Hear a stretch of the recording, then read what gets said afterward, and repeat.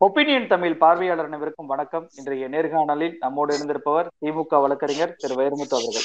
Sir வணக்கம். வணக்கம். பெரிதும் எதிர்பார்க்கப்பட்ட செந்தில் பாலாஜி வழக்குல மூன்றாவது நீதிபதி திரு கார்த்திகேயன் அவர்கள் ஒட்டுமொத்தமாக ஈடிக்கு ஆதரவாக தன்னுடைய கருத்தை வந்து தெரிவிச்சிருக்கிறார். மருத்துவமனையில் இருந்த காலத்தை எல்லாம் நீதிமன்ற காவலாக எடுத்துக்கொள்ள முடியாது.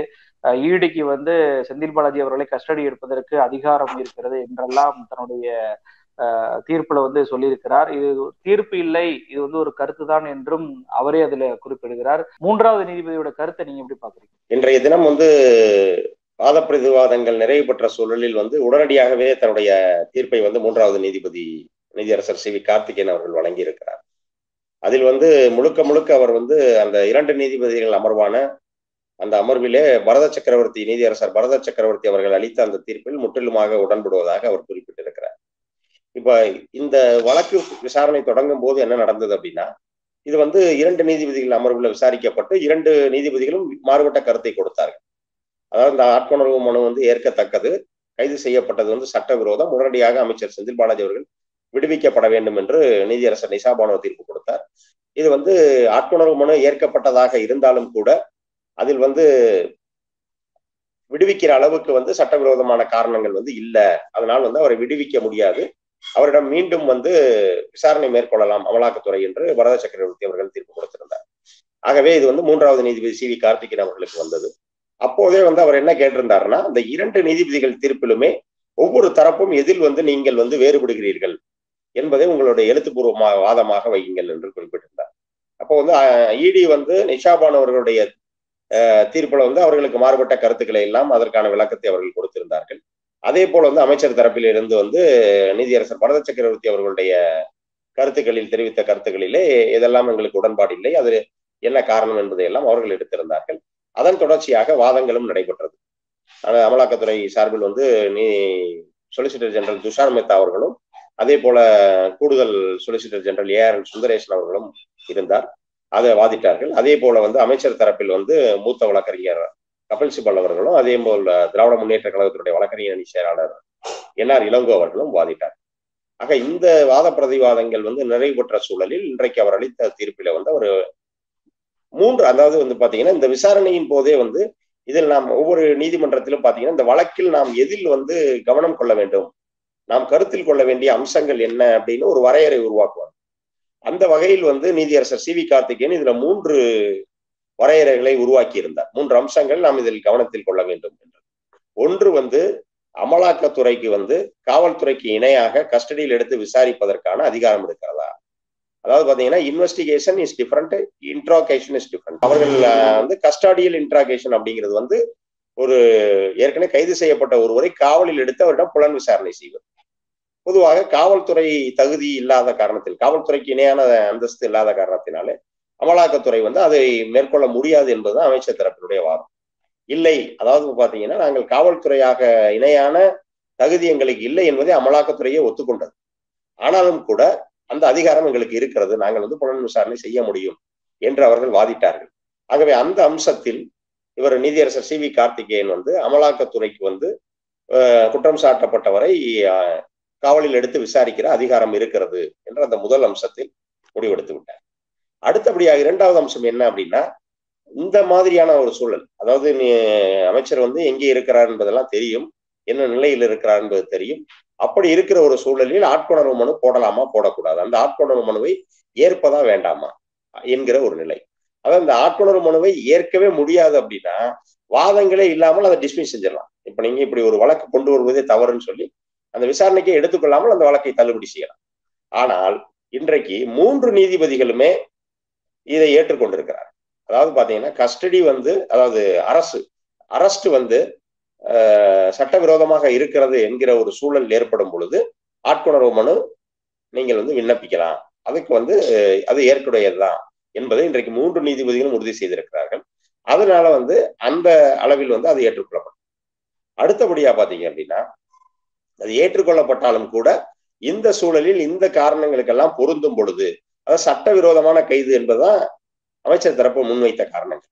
ஆனா நம்முடைய நீதியரசர் சி வி கார்த்திகேயன் இன்றைக்கு சொன்னவர் என்ன சொல்றாருன்னா கைதுக்கான காரணங்கள் குற்றம் சாட்டப்பட்டவருக்கு தெரியும் அமைச்சருக்கு வந்து தெரியும்.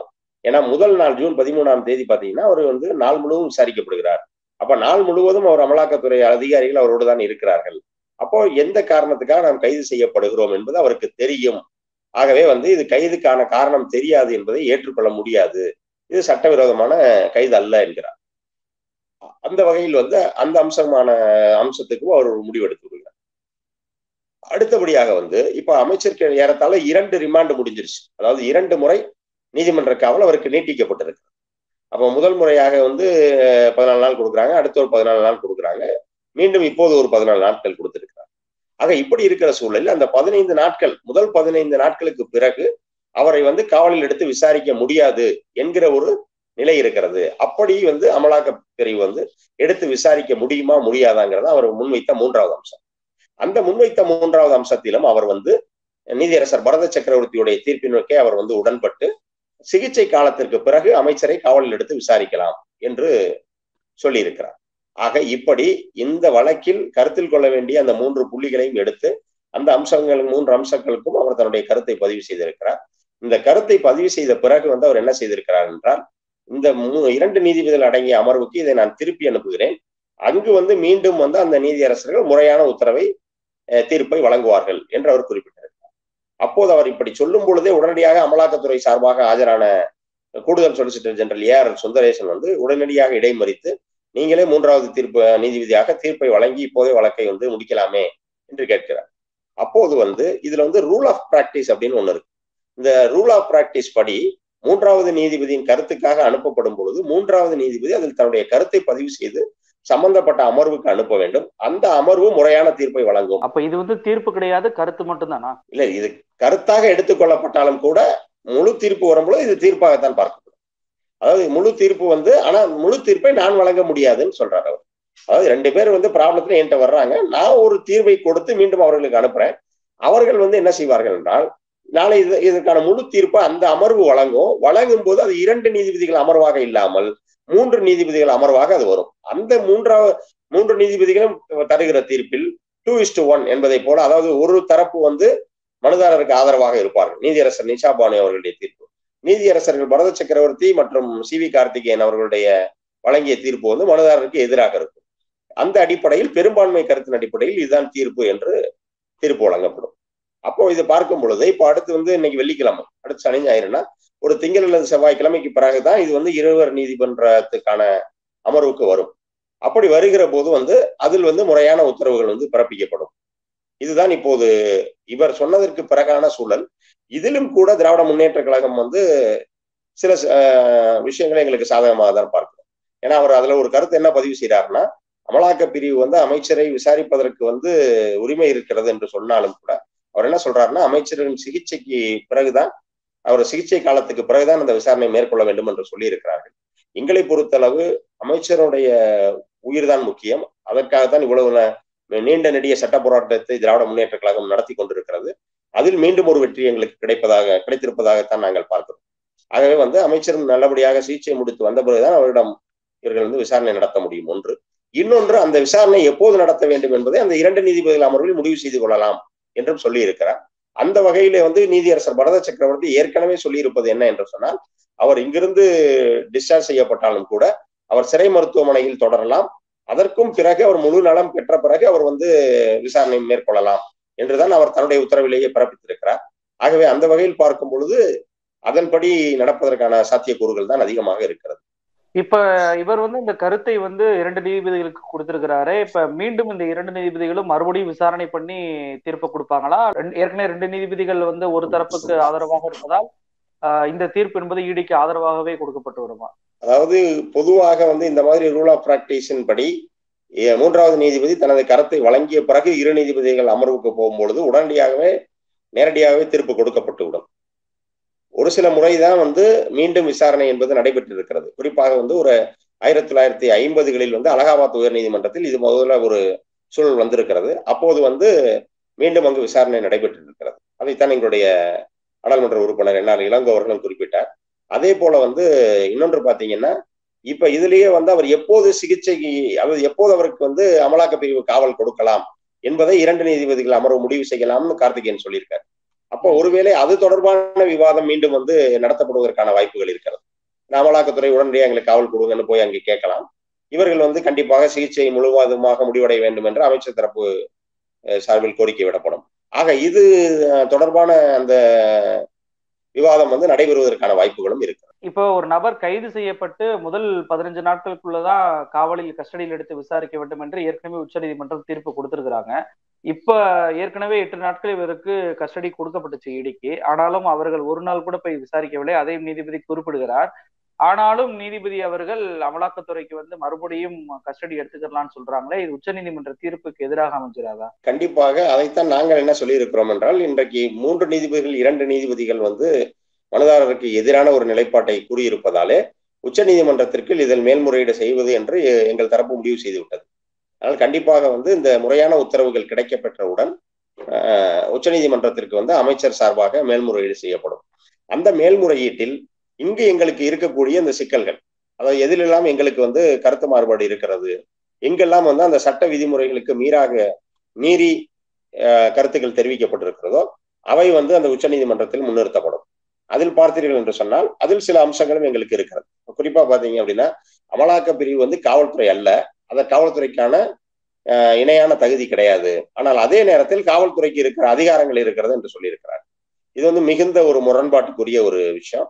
இதையுமே முன்னரே உச்சநீதிமன்றம் சொல்லி இருக்கிறது அமலாக்க பிரிவு வந்து காவல்துறையினர்கள் அல்ல என்பதை உச்சநீதிமன்றம் ஏற்கனவே பதிவு செய்திருக்கிறார் ஆகவே இதை வந்து நாங்கள் உச்சநீதிமன்றத்தில் எடுத்து கூறுகிற பட்சத்தில் இவர்களுக்கு வந்து இது எடுப்பதற்கான வாய்ப்பு கண்டிப்பாக கிடைக்காது. காவல் எடுப்பதற்கான வாய்ப்பு வந்து உச்ச நீதிமன்றத்தில் வந்து கண்டிப்பாக கிடைக்காது. அதே போல வந்து குறிப்பாக இந்த நீங்கள் குறிப்பிட்டதை போன்ற அந்த முதல் பதினைந்து நாட்களுக்கு பிறகு காவல் வாய்ப்புகள் வந்து இதுக்கு முறை இல்லவே இல்லை. இயற்கை சீற்றங்களிலோ சுனாமி போன்ற ஒரு பெருந்தொற்று காலத்தில சுனாமி போன்ற ஒரு இயற்கை சீற்றங்களிலோ இல்ல கொரோனா போன்ற ஒரு பெருந்தொற்று காலத்திலே கூட முதல் பதினைந்து நாட்களுக்கு பிறகு வந்து ஒருவருக்கு வந்து கஸ்டடியை வந்து கொடுக்கப்பட்டது கிடையாது. ஆனால் இன்றைக்கு வந்து கஸ்டடி இருக்கிறது நீங்க எடுத்துக்கொள்ளலாம் என்கிற ஒரு மாதிரியான ஒரு தீர்ப்பை வந்து வழங்கி இருக்கிறார் ஆகவே இதுவும் வந்து கண்டிப்பாக உச்சநீதிமன்றத்தில் நிலைக்கத்தக்கதல்ல என்றுதான் நாங்கள் எண்ணுகிறோம். கண்டிப்பாக வந்து இது உச்சநீதிமன்றத்துக்கு போகிற போது இது மாதிரியான எங்களுக்கு மாறுபட்டான கருத்துக்களை வந்து அங்கு சட்ட ரீதியாக எடுத்துரைத்து அது தொடர்பான நீதிமன்ற தீர்ப்புகளை வந்து மேற்கோள் காட்டி கண்டிப்பாக இதை வந்து அமைச்சர் தரப்புக்கு ஆதரவாக எங்களுக்கு நியாயம் கிடைக்கும் என்று நம்புகிறோம். இந்த வழக்கை பொறுத்த வரைக்கும் அமைச்சரை வந்து சட்டவிரோதமாக கைது செய்துள்ளார்கள் அடிப்படை விதிகளை மீறியுள்ளார்கள் அப்படின்றதுக்காக தான் ஆட்கொணர்வு மனுவே செந்தில் பாலாஜி தரப்புல போடப்பட்டுச்சு. அப்படி இருந்தும் நீதிபதி தீர்ப்புல ஒரு இடத்துல என்ன சொல்றாரு அப்படின்னா ஈடி வந்து வழக்கு பதியும் போது ஏன் செந்தில் பாலாஜி அவர்கள் எதிர்க்கவில்லை அப்படின்னு சொல்லி ஒரு கேள்வி வைக்கிறாரு இதை எப்படி பாக்குறது இப்போதும் கூட நாங்கள் செந்தில் பாலாஜி அவர்கள் மீது வழக்கு தொடுக்கப்பட்டதை எதிர்க்கவில்லை. இப்போ வந்து வழக்கு தொடுக்கப்பட்டால் நீதியரசரே சொல்லி இருக்கிறார் அவர் முறையாக நீதிமன்றத்தில் சந்தித்து தன்னை குற்றமற்றவர் என்று நிரூபித்துக் கொள்ளட்டும் என்கிறார். அதான் நடக்க போகிறது. அதைத்தான் நீதிமன்றத்தில் செய்ய போகிறோம். அதில் எந்த மாற்றமும் இல்லை. ஆனால் இப்போது அவர் நடத்தப்பட்டிருக்கிற விதம் குறித்து தான் அந்த வழக்கு. அதாவது நீதிமன்றம் ஒரு பத்தாண்டு காலத்துக்கு முன்பான ஒரு வழக்கு பத்தாண்டு காலத்துக்கு முன்பான ஒரு புகார் தொடர்பாக விசாரணை நடத்துகிறது அப்ப இந்த விசாரணையை எதிர்கொள்வதற்கு அமைச்சர் தயாராக இருக்கிறார். இப்படி இருக்கிற ஒரு சூழலில் பத்தாண்டுகளுக்கு முன்பான வழக்கில் இப்போது நீங்கள் ஆதாரத்தை தேடி அலைவதற்கான காரணம் என்ன? அப்போ நீங்கள் கைது செய்துவிட்டு ஆதாரத்தை எதற்காக தேடுகிறீர்கள்? ஆதாரங்களை முன்வைத்துத்தானே கைது செய்ய வேண்டும். இது போன்ற ஒரு நியாயமான சட்ட ரீதியான கேள்விகளைத்தான் நாங்கள் முன்வைத்திருக்கிறோம். இதில் வந்து எந்த இடத்திலும் வந்து நாங்க வந்து அமைச்சர் தரப்பு வந்து அமைச்சர் மீது வழக்கு போட்டதே தவறுன்னு சொல்லலாம் அமைச்சர் மீது வழக்கு போட்டதே தவறு என்றால் தான் நீதியரசர் அந்த கேள்வி எழுப்பலாம். அங்க வந்து அமைச்சர் வந்து மீது வழக்கு ஏன் போட்டீர்கள் அப்படின்னு நீங்க கேட்கலையே இன்னைக்கு வந்து அந்த விசாரணையை ஏன் தடுக்கிறீங்க என்று கேட்கிறார். அது வந்து கண்டிப்பாக நாங்கள் உச்சநீதிமன்றத்தில் வாதாடும் பொழுது இந்த இது ரீதியான அனைத்து வாதங்களையும் நாங்கள் எடுத்து வைப்போம். அதாவது வழக்கு வந்து வழக்கை சந்திக்க நாங்கள் தயாராக இருக்கிறோம். அதில் எந்த மாற்றம் இல்லை. ஆனால் அந்த வழக்கிற்காக இவர்கள் சட்டவிரோதமான செயல்பாடுகளில் ஈடுபடுவதை தான் எதிர்க்க விரும்புகிறோம். அப்போ அமைச்சருக்கு வந்து ஒரு உயிருக்கு உத்தரவாதம் இல்லாத ஒரு சூழல் நிலவுகிறது. அப்போ அதை வந்து இந்த ஆட்கொணர்வு மனு மூலமாக இன்றைக்கு நாங்கள் அவருடைய உடல் நலத்தை அவரோட நலமாக இருக்கிறார் என்பதை நாங்கள் இன்றைக்கு உறுதிப்படுத்தி இருக்கிறோம். இப்ப இது போன்ற ஒரு நடவடிக்கை மேற்கொள்ளப்படாவிட்டால் அமைச்சர் வந்து உடனடியாக அமைச்சர்கிட்ட கஸ்டடி கொடுத்திருப்பார். இப்ப அமைச்சருக்கு வந்து அவர் ஏற்கனவே இப்படி ஒரு இருதய நோயில் அவர் சிக்கி இருக்கிற ஒரு சூழலில் கஸ்டடியில வந்து எடுத்து அவர் வந்து அச்சுறுத்துகிற நிலையில் வந்து முடிவுகள் வேறு விதமாக போயிருக்க வாய்ப்பு இருக்கு. ஆகவே வந்து அது தொடர்பான வேலைகளை தான் இன்றைக்கு நாங்கள் செய்திருக்கிறோமே தவிர நீதியரசர் குறிப்பிட்டதை போல இந்த வழக்கு வந்து வரும்பொழுது ஏன் எதிர்க்கவில்லைன்னா வழக்கை சந்திக்க நாங்கள் தயாராக இருக்கோம். அதனால வழக்கு வரும்போது நாங்கள் எதிர்க்கலை. அதே போல இப்ப வழக்கை சந்திக்கிறோம். நீதியரசர் சி வி கார்த்திகேயன் அவர்கள் குறிப்பிட்டதை போலவே நீதிமன்றத்திலேயே குற்றமற்றவர் என்று நிரூபித்து நாங்கள் வெளியே வருவோம். இப்போ செந்தில் பாலாஜி தரப்புக்கு ஆஜரான மூத்த வழக்கறிஞர் கபில் சிபல் அவர்கள் வைத்த வாதமே என்னன்னா அமலாக்கத்துறை என்பது காவல்துறைக்கு இணையான அதிகாரமே கிடையாதவர்களுக்கு அவர்களை பொறுத்த வரைக்கும் புலன் விசாரணையே செய்ய முடியாது. அவர்கள் முன்பே சீல் வைக்கப்பட்ட அந்த கவர்ல ஆதாரத்தை கொண்டு வந்த பிறகுதான் கைது பண்ணிட்டு போனோம். அப்படி இல்லைன்னா செந்தில் பாலாஜி ரைடு பண்ணும் போது ஏதாவது ஆதாரம் கிடைச்சிருக்கணும். இல்ல அவர் மறைச்சு வச்சிருந்தார் பணத்தை அப்படின்றக்காவது ஆதாரத்தை கண்டுபிடிச்சிருக்கணும் அப்படின்றதான் கபில் சிபல் அவர்கள் வைத்த வாதம். இதுவரைக்கும் ஈடிய வந்து இதுவரைக்கும் எல்லா இடத்துக்கும் சர்ச் பண்ணதுல பாத்தீங்கன்னா அந்த சம்பந்தப்பட்ட நபர்களோட வீட்டுல பணத்தை எடுத்துட்டு வரதா இருக்கட்டும் ஆவணங்களை எடுத்துட்டு வரதா இருக்கட்டும் இதுமான விஷயங்கள் நடந்திருக்கு. ஆனா செந்தில் பாலாஜி அவர்கள் விஷயத்துல வந்து இது போன்ற பணத்தையோ எதையுமே ஈடி அவர்கள் எடுக்கவே இல்லை. அப்படி இருக்கும்போது அதிகாரமே இல்லாத ஈடிக்கு அவர்களுக்கு காவலில் எடுப்பதற்கு உரிமை இருக்கிறது அப்படின்னு சொல்லி சட்டத்தில் இடம் இருக்கிறது என்று சொல்லாமல் உரிமை இருக்கிறது என்று நீதிபதி கோடிட்டு காட்டுவதை எப்படி பார்ப்பது? மீண்டும் மீண்டும் அமலாக்க பிரிவு வைத்த வாதமே அதுதான். நாங்கள் வந்து காவல்துறையினர் இல்லை என்பதை அவர்களும் ஒத்துக்கொள்கிறார்கள். இருந்தாலும் கூட எங்கள் நாங்கள் கையாளுகிற இந்த வழக்கில் நாங்கள் அடுத்த கட்டத்துக்கு செல்வதற்கு எங்களுக்கு புலன் விசாரணை தேவைப்படுகிறது. இந்த விசாரணை வந்து எங்களுக்கு கட்டாயமாக தேவை. அதை நாங்கள் செய்தாக வேண்டும். இதை வந்து இதற்கு அனுமதி மறுப்பது வந்து எங்களுடைய அந்த விசாரணையை வந்து தடுத்து நிறுத்துவதை போல ஆகிவிடும் என்றுதான் அவர்கள் நீதிமன்றத்திலே கேட்டிருக்கிறார். ஆகவே வந்து அவர்களது அந்த வேண்டுகோள் தான் இன்றைக்கு நீதியரசர் வந்து ஏற்றுக்கொண்டு அவர் வந்து காவலில் எடுத்து விசாரிக்கலாம் என்கிற அனுமதியை அவர் வந்து கொடுத்திருக்கிறார். இருந்தாலும் கூட இந்த அமலாக்கத்துறை வந்து காவல்துறைக்கு இணையானதல்ல. அவர்கள் இப்படி காவலில் எடுத்து விசாரிக்க முடியாது என்று உச்சநீதிமன்றம் வழங்கிய தீர்ப்பும் அதே போல வந்து முதல் பதினைந்து நாட்களுக்கு பிறகு காவல் கொடுக்கப்படாது என்கிற ஒரு உச்சநீதிமன்றத்தினுடைய தீர்ப்பையும் நீதியரசர் சி வி கார்த்திகேயன் அவர்கள் கவனத்தில் கொள்ளவில்லை என்பதுதான் எங்கள் தரப்பு வாதம். ஆகவே கண்டிப்பாக இது உச்சநீதிமன்ற மேல்முறையீட்டில் இதை நாங்கள் முன்வைக்கும் பொழுது உச்சநீதிமன்றத்தில் எங்களுக்கான நியாயம் கிடைக்கும் என்று நாங்கள் நினைக்கிறோம். இப்போ இந்த வழக்கு என்பது ஏற்கனவே உச்சநீதிமன்றத்துல ஜூலை இருபத்தி நாலாம் தேதிக்கு தள்ளி வைக்கப்பட்டிருந்துச்சு. இப்ப மூன்றாவது நீதிபதியுடைய தன்னுடைய கருத்தையும் தெரிவித்து விட்டார். அப்ப இரண்டு நீதிபதிகள் இடிக்கு ஆதரவாகவும் ஒரு நீதிபதி செந்தில் பாலாஜி தரப்புக்கு ஆதரவாகவும் தீர்ப்பு கொடுத்திருக்கிறாங்களே இத எப்படி பார்ப்பது? செந்தில் பாலாஜி தரப்பு உச்சநீதிமன்றத்துல வருகின்ற இருபத்தி நாலாம் தேதி தங்களுடைய அப்பீல வந்து வைப்பாங்களா? அல்லது தீர்ப்புக்கு எதிராக எதிரும் அங்க வாதங்கள் வைக்கக்கூடிய சம்பவங்கள் எதுவும் நடக்குமா? அதாவது இப்போது வந்து உச்சநீதிமன்றத்தில் நிலுவையில் இருக்கக்கூடிய வழக்கு வந்து அமலாக்க பிரிவு தொடர்ந்த வழக்கு. இப்போது வந்து நாங்கள் வந்து அமைச்சருடைய உடல்நிலையை காரணம் காட்டி எங்களுக்கு கிடைத்த அந்த எட்டு நாள் காவலை வந்து நாங்கள் பயன்படுத்தவில்லை என்று நல்லவர்கள் போல நீதிமன்றத்தில் சொல்லுகிறவர்கள் தான். அன்றைக்கு வந்து அவர் உயிருக்கு போராடி கொண்டிருக்கிற அந்த கொடூரமான ஒரு சூழல்ல கூட மீண்டும் மீண்டும் வந்து எங்களுக்கு அவரை காவல் கொடுங்கள்னு வந்து உச்சநீதிமன்றம் வரைக்கும் போனாங்க. ஆனால் இன்றைக்கு அப்படி அவர்கள் சென்ற வழக்கு தான் இப்போது நிலுவையில் இருக்கிறது. ஆகவே அந்த வழக்கு இருபத்தி நான்காம் தேதி வருகிறது. ஆகவே அந்த நேரத்திலும் கூட இந்த நிலைப்பாட்டை அமைச்சர் தரப்பிலிருந்து எடுத்து சொல்லலாம். இன்னொன்று வந்து இந்த உச்சநீதிமன்றத்திற்கு ஒரு மேல்முறையீடும் செய்வோம். அதாவது இந்த முறையான உத்தரவு கிடைக்கப்பட்ட பிறகு. ஏன்னா இந்த இருபத்தி நான்கு முன்பாக இந்த இரண்டு நீதிபதிகள் அமர்வு வந்து மீண்டும் இந்த நீதியரசர் சி வி கார்த்திகேயன் அவர்களுடைய கருத்தை எடுத்துக்கொண்டு அதை கவனத்தில் எடுத்துக்கொண்டு ஒரு முறையான தீர்ப்பை வழங்குகிற சூழலில் அந்த முறையான தீர்ப்பு வழங்கப்பட்ட பிறகுதான் முறை மேல்முறையீடு செய்ய முடியும். அப்போ வந்து கண்டிப்பாக மேல்முறையீடும் செய்யப்படும். அப்போ மேல் சில நேரங்களில் மேல்முறையீடு செய்யப்பட்டாலும் கூட அந்த இரு வழக்குகளும் ஒன்றாக விசாரிக்கப்படும். ஏன்னா வந்து இப்போ அந்த மேல்முறையீட்டுக்கு முன்பாக இப்போது நடந்து கொண்டிருக்கிற இந்த வழக்கு இந்த அமர்வுக்கே இது இது தொடர்பான அனைத்து தகவல்களும் தெரியும் என்பதாலே மேல்முறையீட்டை புதிதாக இன்னொரு நீதி நீதிபதியில் கொடுக்காமல் இதே அமர்வுக்கு வந்து அந்த மேல்முறையீடு மாற்றப்பட்டு ஒரே அமர்வே வந்து இந்த இரண்டு வழக்குகளின் விசாரணைகளை நடத்துவதற்கும் வாய்ப்பு. எங்களுக்கு எந்த நிபந்தனையுமே கொடுக்க கூடாது. நாங்கள் நேரடியாக அவரை கஸ்டடியில் எடுப்போம் அப்படின்றதுதான் உச்சநீதிமன்றத்துல இடி வந்து வச்ச வாதமே. அவர் அமர்வு நீதிமன்றம் கொடுத்த அந்த நிபந்தனைகளை எதிர்த்து தான் உச்சநீதிமன்றமே போனாங்க. ஆனால் இப்போ வந்து என்ன சொல்றாங்கன்னா இடி அவர் வந்து மருத்துவமனையில் இருந்ததுனால அவர் விசாரிக்க முடியாது. உடல்நிலை பாதிப்பு வந்து என்பதற்காக நாங்கள் அவரை விசாரிக்கவில்லை அப்படின்னு சொல்றாங்க. நீதிபதியுமே அதை ஏற்றுக்கொள்கிறார். அதாவது ஏற்கனவே அவர்கள் எட்டு நாள் கஸ்டடியிலும் வாங்கிட்டாங்க. ஆனாலும் விசாரிக்கவில்லை என்பதையும் நீதிபதி சொல்லுகிறார். அதே சமயத்துல மருத்துவமனையில் உடல்நிலை பாதிப்பு இல்லாதனாலதான் அவர்கள் விசாரிக்கவில்லை அப்படின்னு சொல்லி சொல்றாரு. அப்போ ஏன் கஸ்டடி கேட்டாங்க அப்படின்ற ஒரு வாதம் என்பது உச்சநீதிமன்றத்தில் அடுத்து வைக்கப்படுமா? ஏற்கனவே உச்சநீதிமன்றம் அவர்களை கண்டித்திருக்கிறது. ஏன்னா இப்படி ஒரு சூழலில் நீங்கள் மீண்டும் மீண்டும் வந்து எதற்காக காவல் கேட்கிறீர்கள் என்பது வந்து இது இரண்டாம் முறையாக விசாரணைக்கு வந்த போதே அவர்கள் குறிப்பிட்டு விட்டார்கள். இந்த இரண்டு நீதிபதிகள் அமர்வுல விசா விசாரணை நடந்து கொண்டிருக்கும் பொழுது நீங்க அவர் வந்து உயிர்காக்கும் சிகிச்சையில இருக்கிறார். அப்படி சிகிச்சையில இருக்கிற நேரத்தில் நீங்கள் அவரை காவலில் எடுப்பதற்கு இவ்வளவு தூரம் அவசரப்பட வேண்டியதன் அவசியம் என்ன என்று அப்போதைய நீதிமன்றம் கேட்டிருக்கிறது. ஆகவே வந்து உச்சநீதிமன்றமே கேட்டிருக்கிறது. ஆகவே கண்டிப்பாக வந்து இப்போது மீண்டும் அவர்கள் வந்து இந்த நிபந்தனைகளுக்கு ஏற்றோ இல்ல நிபந்தனைகளுக்கு பிறகோ அவர் வந்து உச்ச நீதிமன்றத்தை அணுகும் பொழுதோ இல்ல அமைச்சர் தரப்பிலிருந்து அவர்கள் வந்து உச்சநீதிமன்றத்தில் அணுகும் பொழுதோ கண்டிப்பாக இந்த அம்சம் வந்து கவனத்தில் எடுத்துக்கொள்ளும் நிகழ்ச்சியில் கலந்து கொண்டு செந்தில் பாலாஜி வழக்குல வந்து கொடுக்கப்பட்ட அந்த தீர்ப்புடைய சாராம்சம் என்ன என்பதை மிக தெளிவாக நம்ம நேயர்களுக்கு எடுத்து கூறியிருக்கிறீங்க. ரொம்ப நன்றி சார். வாய்ப்புக்கு நன்றி வணக்கம்.